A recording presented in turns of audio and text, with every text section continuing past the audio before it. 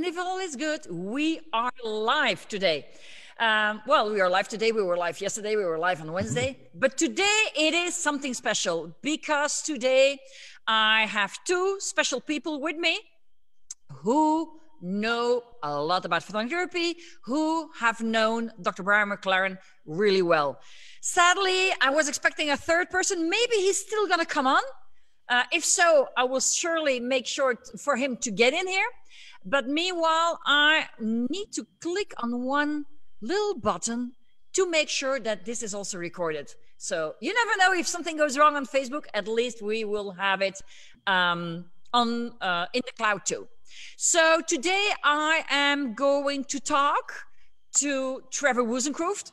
Sorry, Trevor Wozencroft, who you already saw in the live interview number two. That was in July, okay? And we will also have Dr. Terry Wood with us here.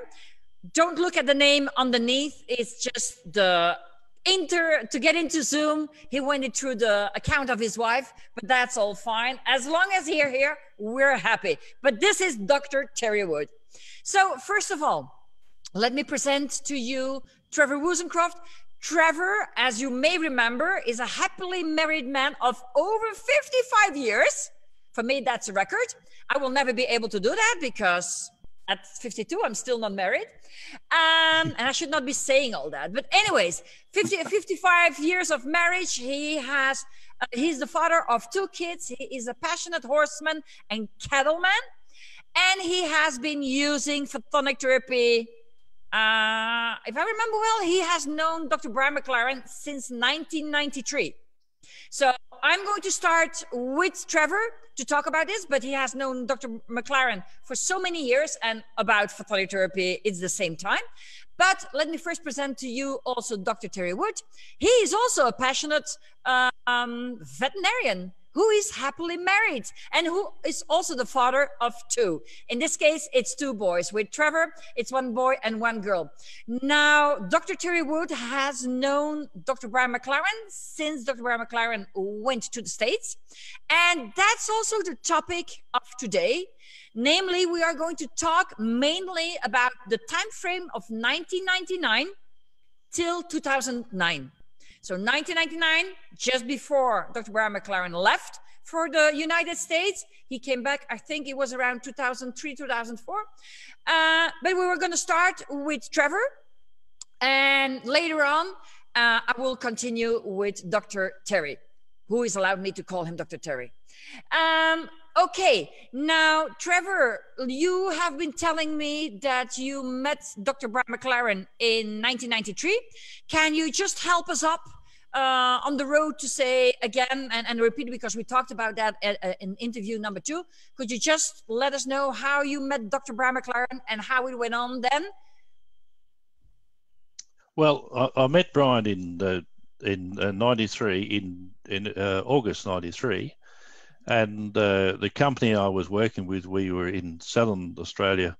Uh, a big Limousin cattle stud was the biggest Limousin cattle stud in Australia um, at that time, uh, and we moved to Queensland uh, and formed a partnership with another uh, gentleman up here that uh, had probably not, and both properties weren't very far from where Brian was the uh, the local vet, and uh, and of course trying to work my way around because you know I've worked up to now I've worked and been associated with over over 60 vets in my lifetime, and and un- unfortunately nothing against you, Terry, but I've I've had to, I have there's a lot of vets and I just don't get on, uh, and uh, and I was I uh, and while I was there, I was met one of the neighbours and I said to him, uh, well, the first thing I've got to do is get myself a good vet because we were into embryo transplant all this sort of thing, and I said I've got to get a good vet, and this is something that people seem to forget about. They they move to a property or move to a different area and uh,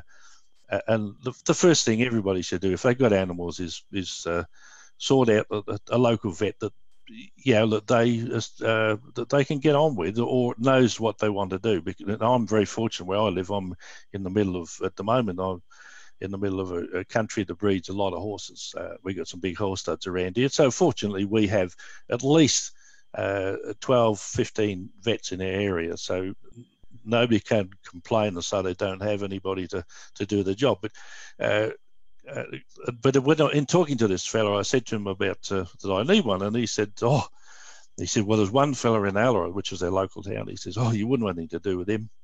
He said he he bit of a voodoo thing. He said he's got some laser light or something or other. He, he said that." Uh, Oh, he said, oh, you know, he said, I'd keep away from that. And I says, well, the first thing is that's the person I would need to meet because we need to, in this day and age, we need to look outside the square. And I say, well, well, well my education goes back to the, uh, to the uh, uh, late 1940s and early, early 50s. Uh, although I was very young now, I was always interested in this sort of thing.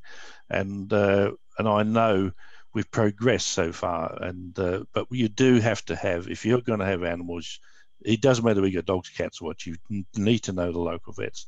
So this is uh, how we started off with Brian, and uh, at that time, of course, he was only just uh, on this journey that he uh, with the photonic therapy, and uh, unfortunately.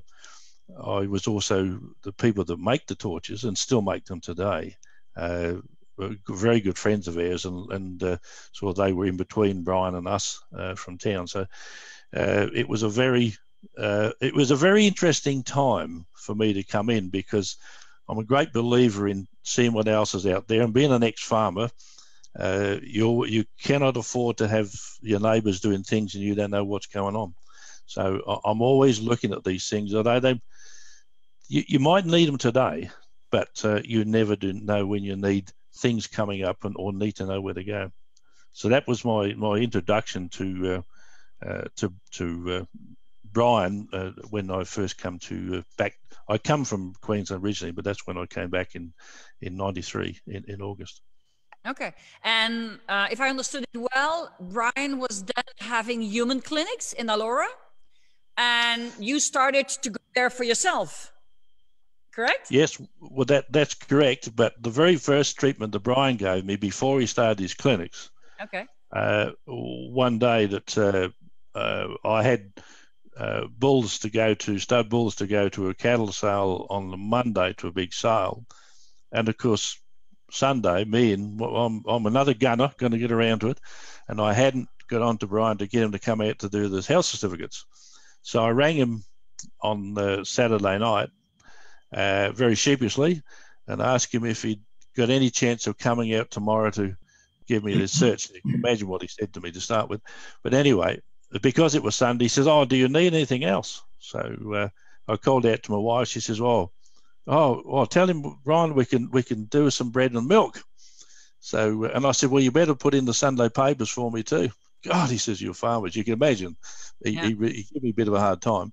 But anyway, when he came out, uh, in those days, I was able to jump fences and gates, and uh, and I landed on the wrong foot, and I was hit going around with a big swollen ankle. And he says, "What earth's wrong with you?" And I said, "Oh well, I sprained my ankle." Oh, he says, "We hadn't even looked at the cattle. We hadn't what he was there for." So he we sit down uh, on a, a, an old milking stool was by the shed, and, the, and he treated started treating my ankle, and I said, "Oh." I said, that's funny. I says, feels like it's coming at my other ankle. And uh, and he says, well, I hope it is because it's working. So that's my introduction to him actually treating me. And uh, and as time went on, you know, naturally, uh, he uh, he had to stop. At that time, he was still treating cattle uh, a fair bit and horses. And then he uh, he had so much work, people wanting him. I, we look uh, in in back of his house, I've seen ostriches with displayed legs, and you've got no idea some of the things that people used to turn up with. And and uh, I said, well, how on earth are you going to fix that? And he says, well, he says uh, it's one of those things nobody knows, and neither do I. So anyway, he, it was amazing how many things he did fix, and uh, so uh, it finished up that he was the, only myself and, and another fellow that he was going to as far as veterinary stuff goes, and then he opened his clinics, and he had that many people there. It was it was not funny. Uh, the amount of people that were coming, there was so many problems. So uh, I would go in there, you know, like probably a couple of times, well, a couple of times a week for for uh, for two or three weeks, and, and then he got back to about twice a month until he went went to Brisbane. But uh, it was certainly made one hell of a difference to me. I, I, mean, I wouldn't be walking today. I don't think if I never had my torch that there isn't any doubt about it whatsoever. And I've got very, very bad eyes, but not glaucoma, but the high blood, uh, high pressure they get. But I just use the torch around my eyes. Long as I, I do it about once a three weeks or once a fortnight. But we do have a lady uh, in Warwick when Brian was first developing this therapy uh, that she was so bad with um, uh, glaucoma, she couldn't, yeah, she just couldn't even get the car. She couldn't go anywhere because there's nothing they could do about it. And uh, because she would had a apparently um, uh, any medication she had, she had bad reactions to it. So anyway, Brian started her on on this trial, and uh, and and she's living a very normal life uh, because uh, you, you, know the light brings the pressure down, but she has to treat herself every two days. Uh. With me, it's different. You know, mine still gets nearly as high, but uh, but she's in a bad way. And uh, I said to her one day when she she ran me about getting the torch repaired, I said, "Well, how are you going?" She says, "Oh, well, still the same, still going right." This is, I know it hasn't fixed me, but we we accept that. But uh, she said I still have to treat myself every two days because otherwise, feels like my head's going to blow off.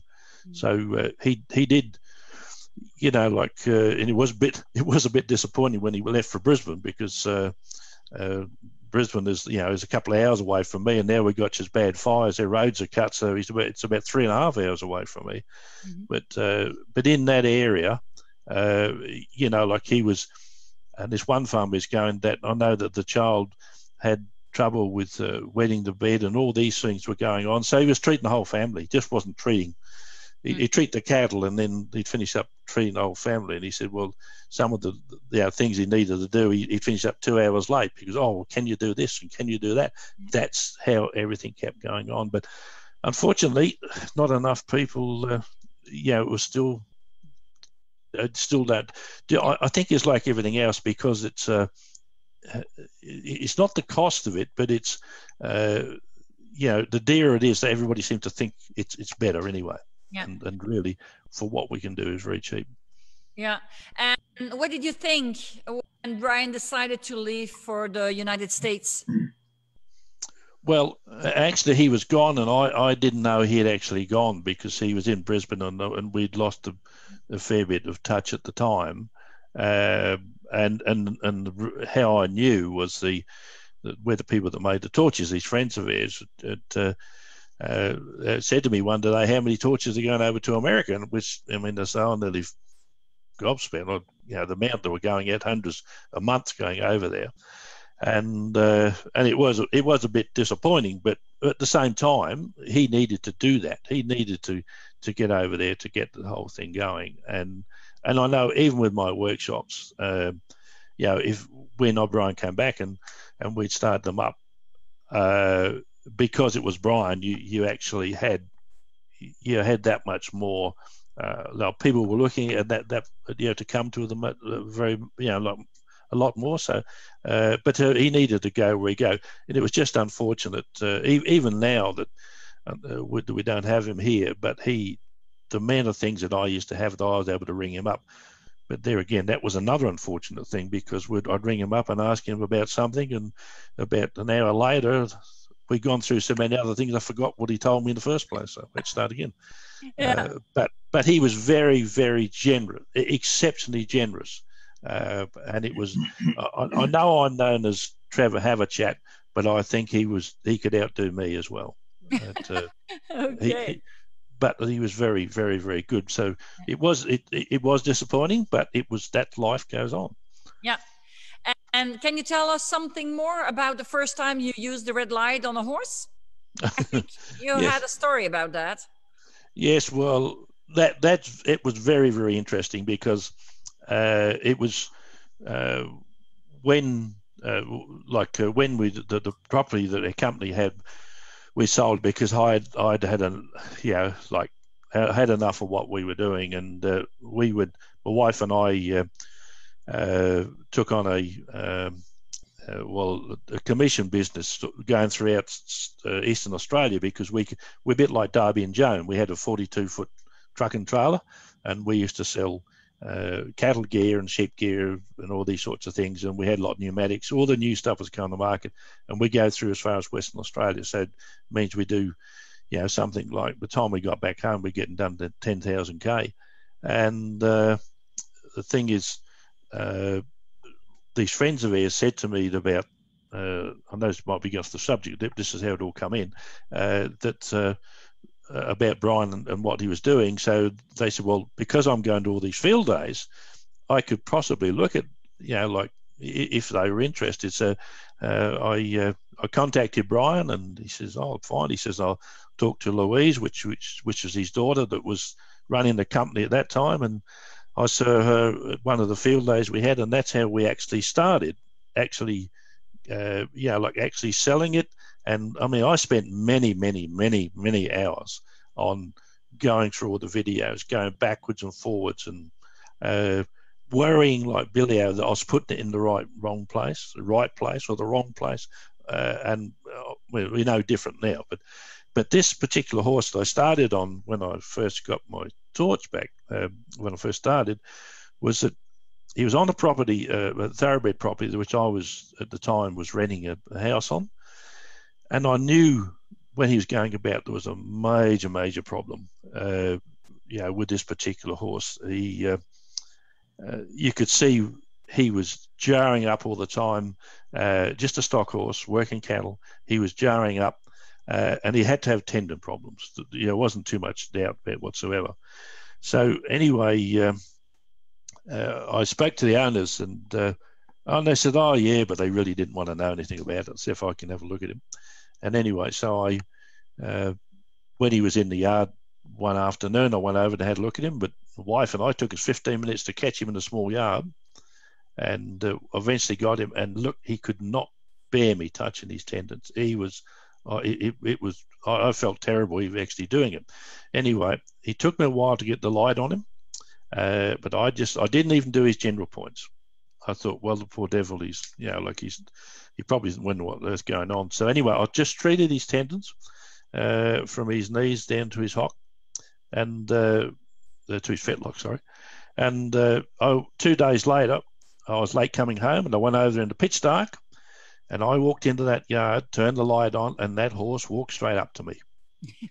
It, yeah. yeah, he just walked straight to me. I didn't say anything. I had the light turned on. It was dark.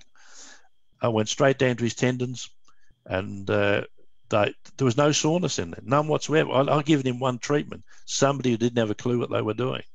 And so uh, I run it over him again, looked him about it three or four days later. He was fine, and he, he never ever looked as if he was, he was having any trouble.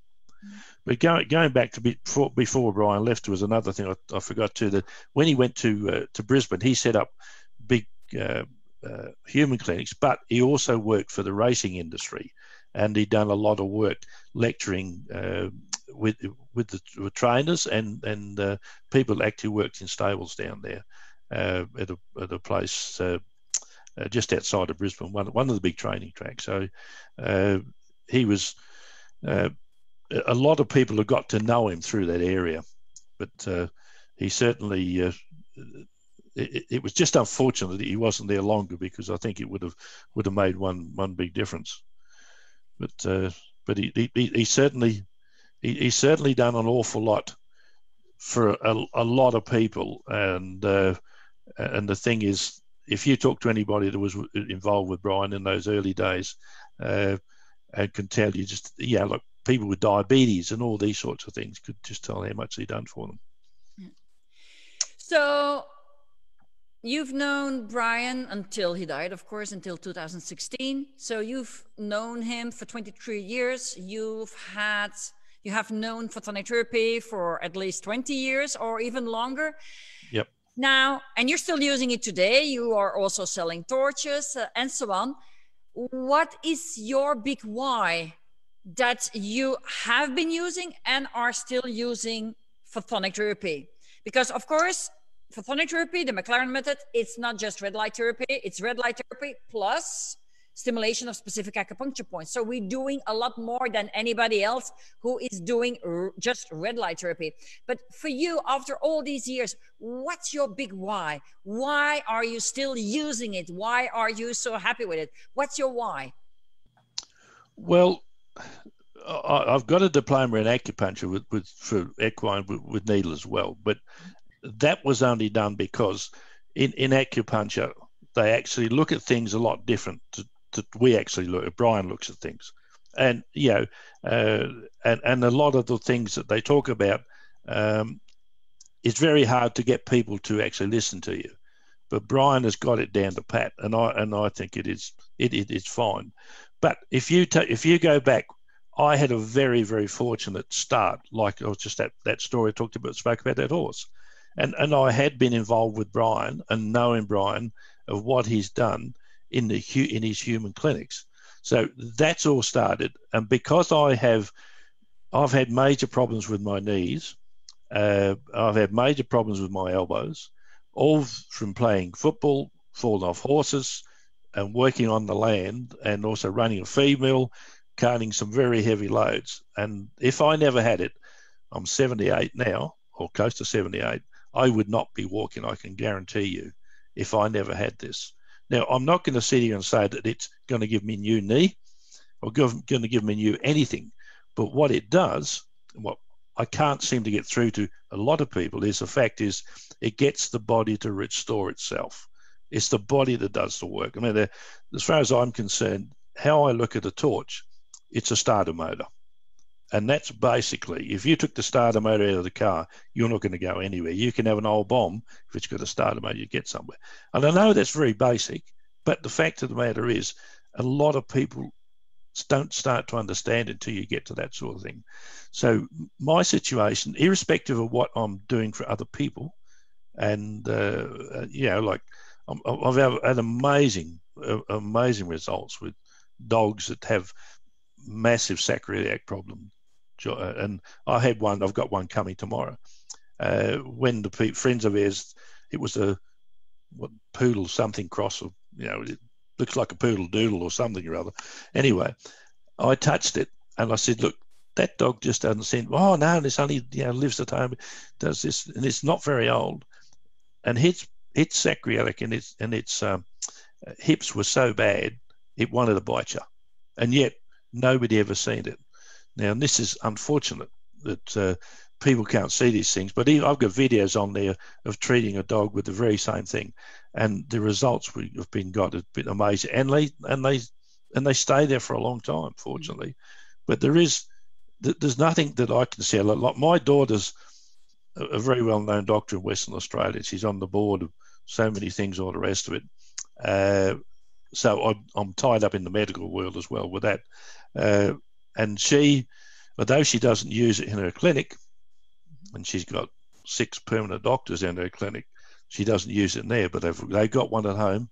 The son, the brother-in-law's got one. Two brother-in-laws have got them at home, so they know what it can do. And the one, the one brother-in-law, he was actually the major testing pilot in, in the Indian Army. He's a uh, Anglo-Indian, and he's had so much trouble with his ankles for so long, for years.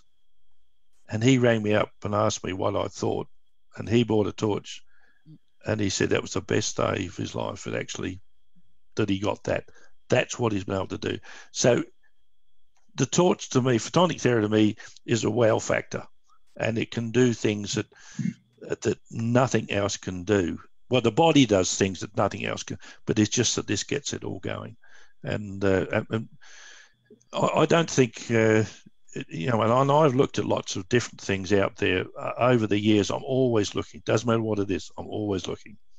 And uh, there's absolutely, uh, doesn't matter what they're doing. You've you've still got to go from the skin to the collagen and set up the brain. You can do deep tissue. You can do whatever you want to do. It, it still comes back to that one very thing. As Terry said before, the, on these other on the other was I think it was on the second episode you had about how it works with the with the uh, with the collagen, and and but it's that's a little simple for some people, but mm-hmm. that's exactly what's happening. Yeah. Okay, thank you for this first part, Trevor. Terry, Dr. Terry, let's um, get back into time for you to when you met Dr. Brian McLaren. So Brian was invited to go over to the United States, which he did, as as we've heard before. Um, Dr. Terry, how did you meet Brian? How how did it all come along? Well, I would like to say that it was a very noble motive on my part, but it wasn't. uh, he, he uh, excuse me, he uh, sponsored a Central Oklahoma Veterinary Medical Association meeting, or COVMA for easier, and uh, you know, a free meal and an hour of continuing education, and you know, you had me at the free meal, so that that was my motive. It was not very pure, but he uh, he made a presentation, and I had one of my helpers had come with me, and what he was talking about, the things he was able to accomplish were things that I, let's just say at that time, I was very skeptical. Um, I thought, well, that's crazy. Nobody can do that with just that light. But the more he talked, I I thought, well, you know, if that's really, if he can really do all that, then I'm really missing the boat if I can't learn how to do that myself and incorporate it into my own practice. And so that was on a Tuesday and I take Thursday afternoons off.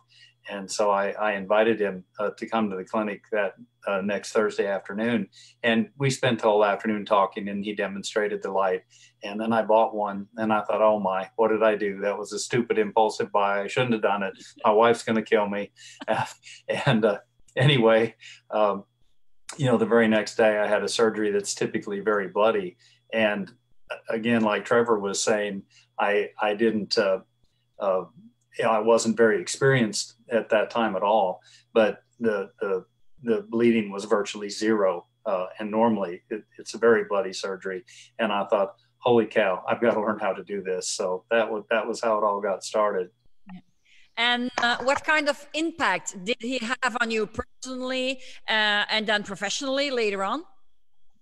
Well, personally, um, you know, I it, it was it made a profound impact because to to pick up your life and to move halfway around the world and uh, to be in a new country and and trying to introduce something that you know is is looked at with a lot of skepticism um, you know i had a lot a lot of admiration you know a lot of people are described as leading lives of quiet desperation uh, because they always wanted to do something and they never did it. Well you know brian Dr. Ther- uh, McLaren, he did it. You know, he he picked up and moved and really tried to expand his horizons. And and uh, you know what a what an example of you know having a goal and working very hard to to try to achieve that goal.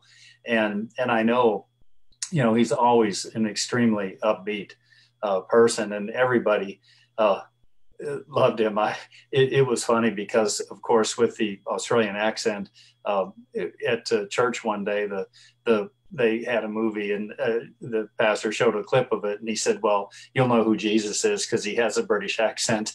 And I thought, you know, when you go all you're talking, Brian, you know, people must think you're Jesus. That's why they like you so much. I don't know, but he uh, he was a very engaging uh, person.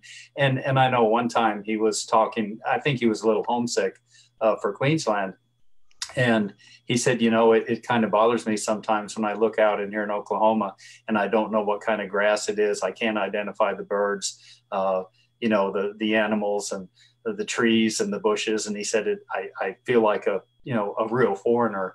And and he said it's very difficult uh, at times. Uh, and that was the only time, but you know, it just helped me to understand, you know, what a, a sacrifice that he he was making to do that. And I know um, Australia's loss was our gain.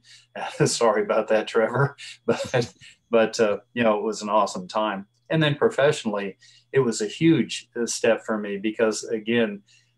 I've, I've talked with other holistic veterinarians, and it takes about 15 years of practice uh, for you to kind of have an epiphany of you know again leading a professional life of quiet desperation. Do i keep doing what's considered the standard of care and not really helping the animals as much as you'd like? Or do you just try to step out in faith and and try to try to repair the original problem or at least uh, get it under control something that you can and the pet can live with? And uh, it was a huge stepping stone for me to to help make that decision. It's like, look, I'm going to step out and and try to uh, expand my horizons and uh, you know just you know embrace the the holistic. Uh, you know, I think I've told you before about the horse. I was only out of vet school about a year, and it was lame, and I was called out to do a lameness exam and I did a really nice lameness exam, what I was taught. And the, the farmer looked at me and he said, what are you going to do? And I said, well, we're going to put him on but, you know, phenylbutazone for, you know, 10 days and rest him for six weeks and he'll be okay. And he kind of puts his hands on his hips and says, well, I allowed you're going to fix him, not just mask the symptoms. How many horses you fix by just masking symptoms? And it was like, wow. I said, well, I, you know, I just graduated. That's what I was taught to do, and that's what I can do. And he said, well, that's all the better you can do. Then let's go ahead and do it. And of course, the horse did get better, but now, as Trevor says, we could have probably, I could have probably got him better that day and got him, got him well on the way without giving the the NSAIDs, which I prefer not to use at all because of their side effects. Yeah. But yeah, it was a it was a huge step for me. Mm-hmm. But there, there you see, we can only do what we can do what we know to do and and that's why it's also so important to spread the message about uh, photonic therapy about the mclaren method so that more vets and more people would know this exists and that more people and animals can be helped because too many animals are still killed or put to sleep today because either they can't pay the, the vets, they can't pay the operation, or there is simply no medication that is taking their pain away. Or the medication that you can give has a lot of side effects, making it often even worse. So that's the good thing uh, about photonic therapy because everybody can do that themselves at home. Now, I remember, uh, if I remember well, you uh, wrote, well, of course I remember well, let's be honest. I have the copy. But my question was, uh, you wrote a long article together with Dr. Brian McLaren uh, about photonic therapy in veterinary medicine. Can you tell us a bit more about that? Yes, he he talked to me about that, and so we we collaborated on that, and uh, it it was uh, for the International Society of Optical Engineering. It was in San Francisco, and uh, uh, we neither one of us was able to go, but the paper was presented there and is in their archives, and basically we were just trying to explain our our theory of of how the photonic therapy and thus acupuncture works because when you when you look at the literature, nobody can really, uh, there's not one accepted uh, understanding of how acupuncture works. You know, like at Colorado State University, they'll say they do teach acupuncture there now, and they'll say, well, you know, if you put the needle in, uh, do you put it in a little bit, a long ways? Do you twist it to the right to get one effect, twist it to the left to get one effect, and you know all these uh, things.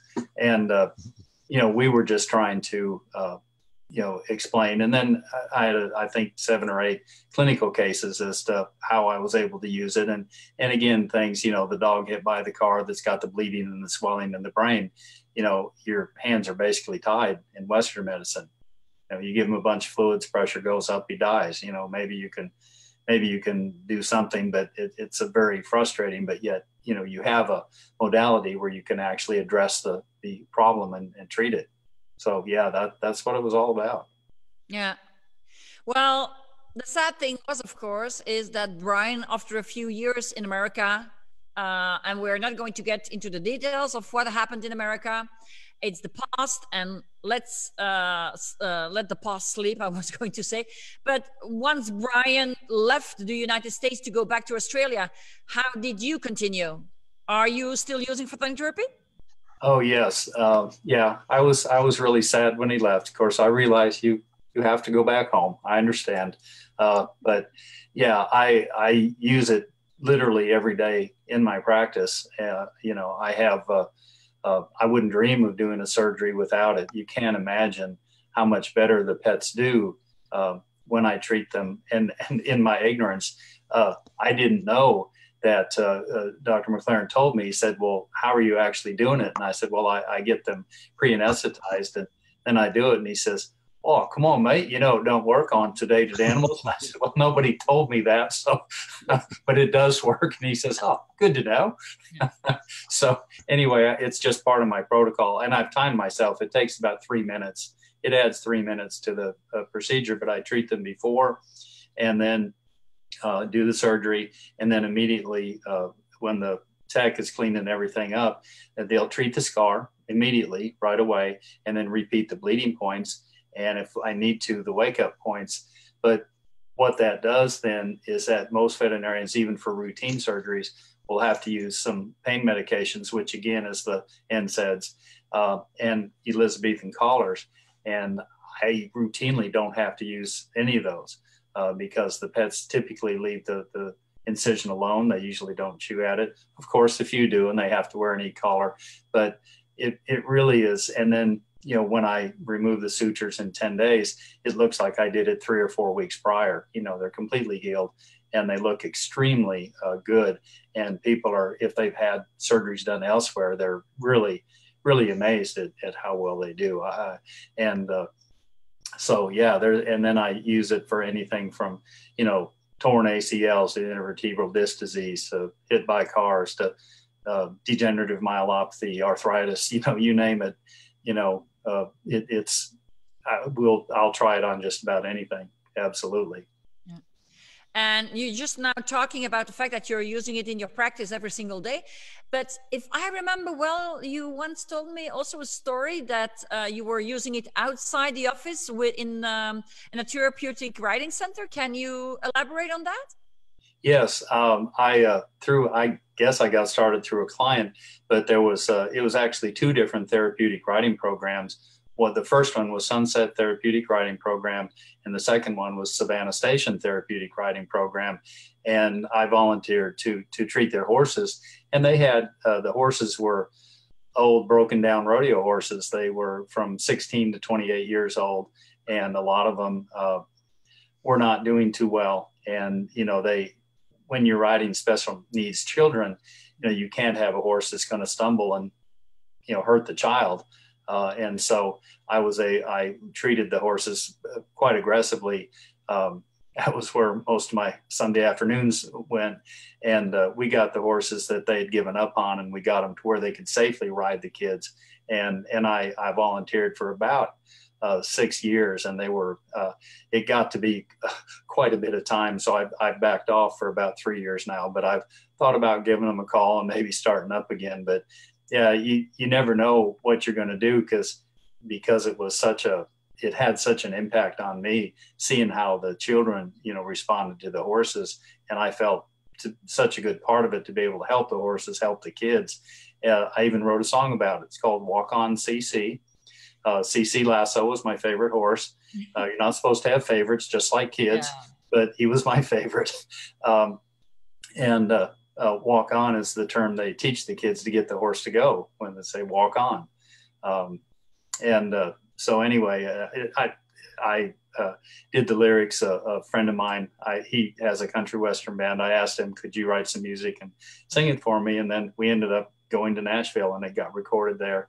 And uh, it turned out really well, if I am saying, I, I really, I still, gives me chills to hear it. And the, the, the, one of the programs even uh, our our uh, producer was Dean Miller, Roger Miller's son, and he uh, they raised the money to do a music video, and that's on YouTube. If you look under uh, Sunset Therapeutic Riding Program, uh, you can you can see that on YouTube. But it, it was really it was a, a, fascinating time and a good a good way to help get the word out about photonic therapy. Yeah, I'll I'll look up the link and I'll put the link here under this live video so everybody can go and have a look at it and listen to it, of course. Now, finally, so that everybody do understand what we are talking about here is that so you started out as uh, a normal, a regular vet, okay, and you are now a holistic vet for the last 20 years or 20 or 22 years or something, and you have been using now photonic therapy for 20 years. What are you going to do to me if I am taking all your torches away tomorrow? uh, it can't be repeated publicly.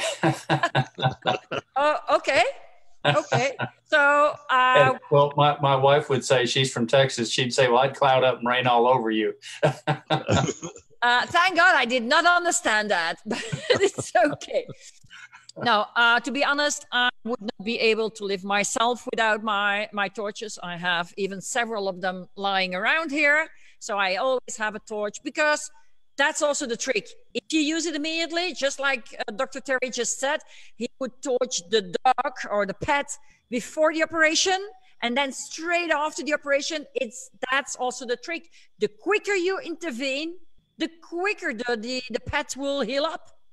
So, uh, and that's also with Trevor, his ankle. If he would have used the, the torch, if he would have the torch at that time uh, before, um, with Dr. Brian McLaren, before he fell, if he would have used that torch immediately on his ankle, it would have healed up a lot quicker than when you're starting it later. But even if it's later, even if it's chronic, you can still use the same therapy. Okay. And the healing will take place. It will just take a little longer uh, for the healing process uh, to be to be finished. Let's say so.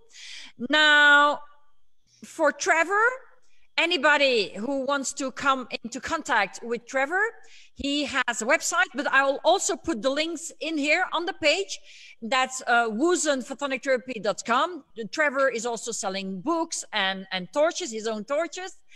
Um, and Dr. Terry, I will also put his link on. He has a holistic vet clinic in Mustang, Oklahoma. And I'll put the details in so you can contact these people yourself if you would like to do so. Now, last question to both of you. Tell us a story about Brian. We love we love to hear stories. Oh, go well, ahead, Trevor.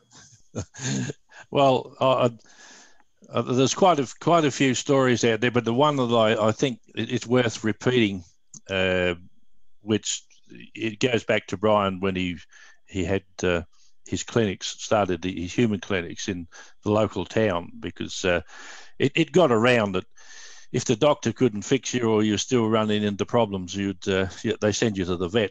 We, you know, it was quite funny, really, lots of ways. But there was and this was is very serious, you know. And I think, you know, really, I mean, I thought about it thousands of times, and there was other different ones, but this is one that uh, a lady had brought her child, which is a baby, and I, I, can't remember quite just how old it was, but took it to Brian and uh, said, "Look, they uh, if this operation that they want to give it doesn't work, they're going to this child's going to have to have a colostomy bag because it was." It, it was just not able to move an emotion, so it was in terrible pain. And they said, What can you do? So uh, Brian, being honest enough in himself, in, in his own mind, he says, Oh, buggered if I know, sort of thing. But anyway, he, he done what he needed to do. And that lady went home with that child and rang back half hour later. He thought, Oh my God, fathers, what's happened now? When she knew she's on the phone. And she says, Dr. McLaren, the, and he says, Oh, yeah, what, what's wrong? She says, Is nothing wrong? She says, but the baby is pooing like a wood duck, and uh, and that that child never ever had to have that operation. And Brian treated another couple of times, but just to make sure everything was right. And and look, I don't know where and what that child is now, which because it goes back quite a few years, of course.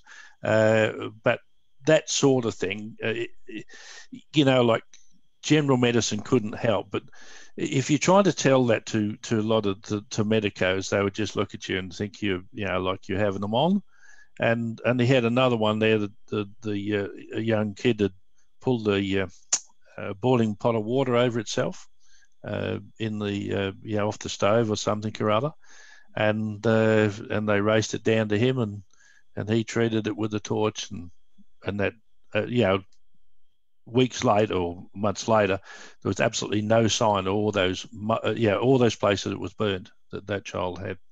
Uh, so, really, that's those are the things that I know it happened, and I saw him there one day when I was at the clinic. A lady came, it was when he had the ostrich there actually, uh, the ostriches, because they have massive problems of, you know, getting too much weight on them, then they were splayed out. Them, but uh, them, them, I know now from what the other products that we sell, it was, it's a major thing. You know, they say, oh, that they're lacking calcium, but it's not lacking calcium. It's the the chelates. We we sell chelate calcium, which actually um, uh, it, it it helps the whole body utilize the calcium instead of it being tied up and instead of have calcification it sort of cleans them up but uh, but he had a lady come in and she was covered in in cancer uh, you know all over it yeah and it was very sad and and people like this were coming to him now i know the things were too advanced for that lady.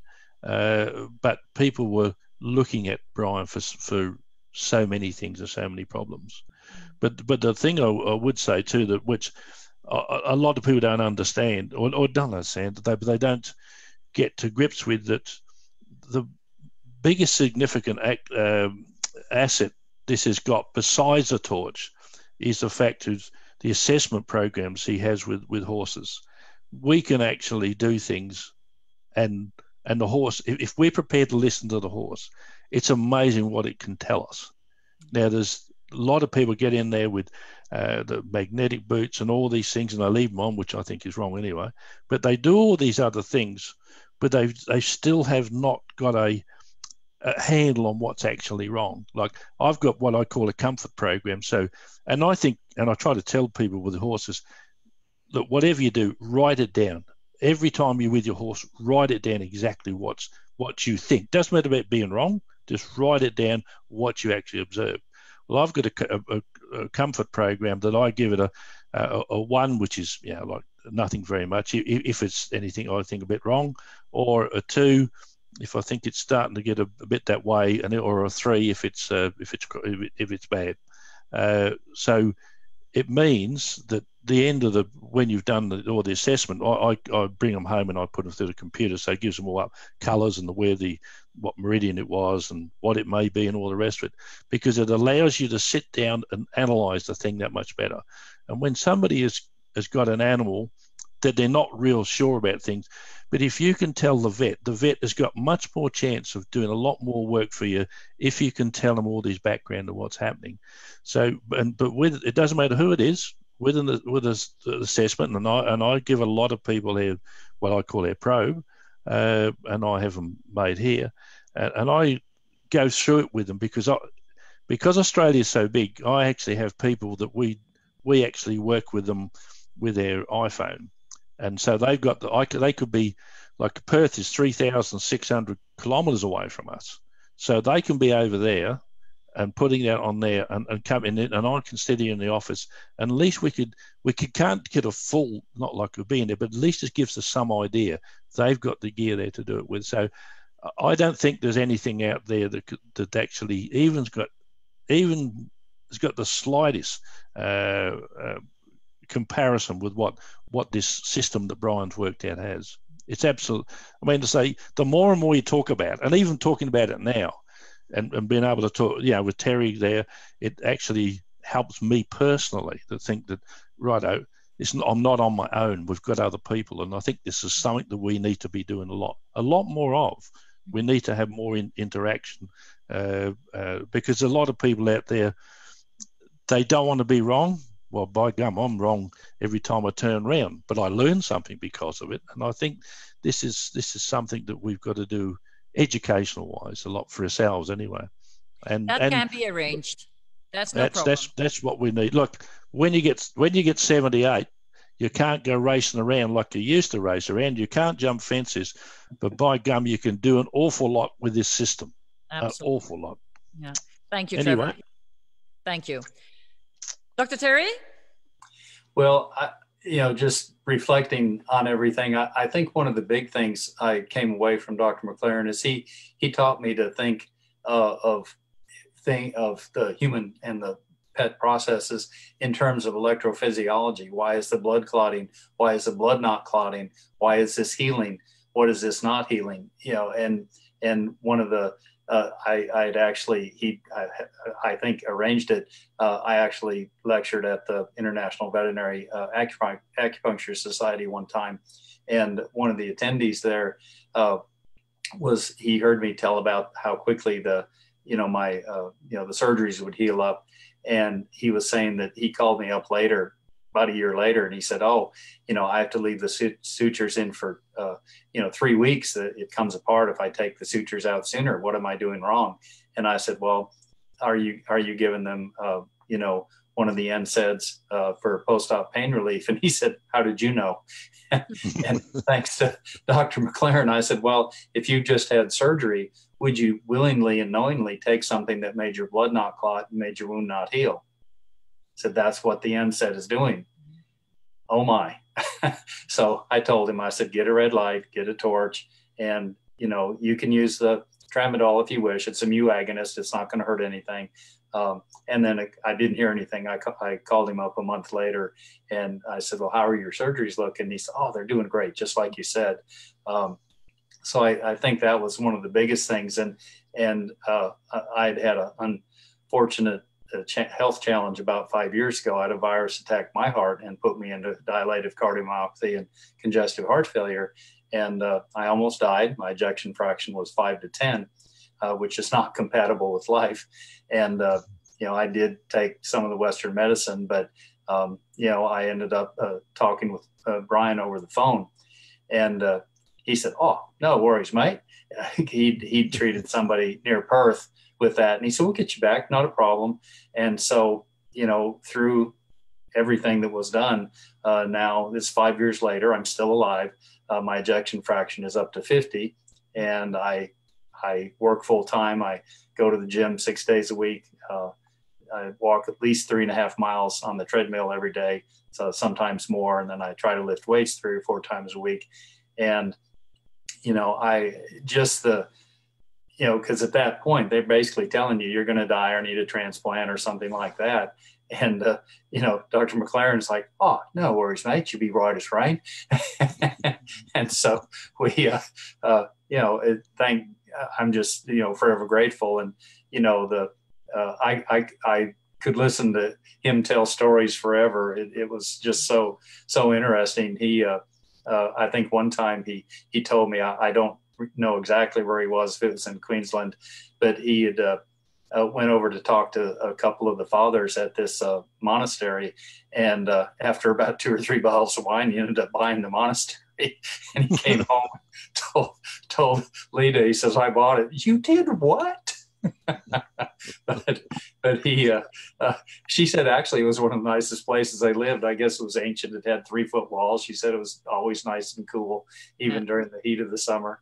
And uh, uh, he just and and then hear his stories about growing up on the on the uh, uh, where he grew up in in Queensland. The the stories with his neighbors and and you know, like the uh, w- when they lived at the Abbey, he said that unfortunately there was a pub nearby and people would relieve themselves after a night of partying. And he thought, well, you know, even though it's not a monastery anymore, they shouldn't be doing that. So he cut a bunch of pieces of, of uh, black pipe, uh, plastic pipe, and I think and I don't know if he put them on strings or how he did it, but when the crowd after the pub shut down, they were all out there relieving themselves. he stepped out and said, "Oh, look out for the dugougs, mate! There's a whole herd of them." And he, he, pushed those plastic pipes, and they thought it was a bunch of the dugong snakes. And he said that took care of the problem. Yeah, so that was a good one. Yeah. oh boy! Oh boy! What do we miss him? Isn't it? We all miss him very dearly. Yes. Well, I want to thank you, both of you, from the bottom of my heart, and also because this is this was not an easy session to organize.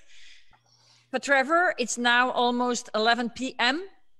and we started this. And for Dr. Terry, it was 6 a.m. On a Sunday, Dr. Terry is here at 6 a.m. to be on this call to be uh, in this interview. So I am really grateful to both of them for being here. But this is what happens. I mean, Trevor is in Australia, Dr. Terry is in the United States, and I'm in Europe. But you see, we are represented in every part of the world. And it's good to come together, and um, I will make sure that we do that in future too. Um, but we are going to have one more interview next week or the week after, we will see that we can organize it so that Rob McLaren can be here too. And during that interview, it's going to be the last part. It's going to be the part from uh, end of 2008, 2009 till now. Okay, so uh, everybody here present will be welcome there too, so we can talk a bit more. But that's a bit what we're going to do. And then in that last one, I will be talking also a bit more myself because that's my 10 years of time frame. Okay. Thank you, everybody. I will make sure to put the links in here later on today. So don't worry about that. And I hope to see you again next time. Leave a comment, like this, and share this with your friends. If you like this interview, it's always good that people know about Dr. Brian McLaren and his therapy. Thank you. Thank you. Thanks very much, Eva. And thanks, Terry. We'll have to catch up again sometime. Sounds I, great. I, I've got